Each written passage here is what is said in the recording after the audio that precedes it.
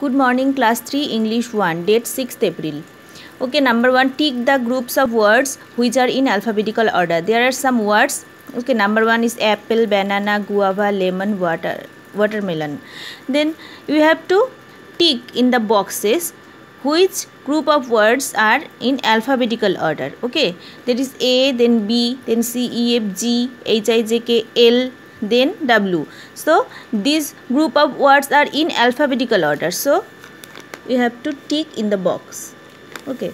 Then d, d c. So this group of words is not in alphabetical order. C is first then d. So uh, but here is d for, uh, d are written in first and c is written in later. So these are not in alphabetical order. So we don't tick in the box.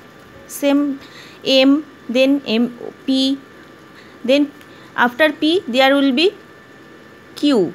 But Q is in last so it will also not in alphabetical it is not in alphabetical order. This group of words are not in alphabetical order so we don't tick in the box. Then G O R S and W. This group of words are in also in alphabetical order so we have to tick in the box. Okay and homework number the words in alphabetical order.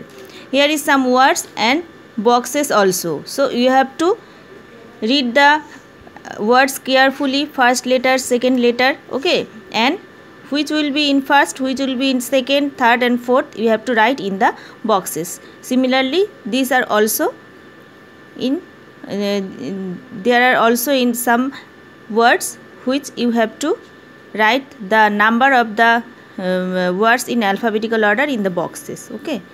Thank you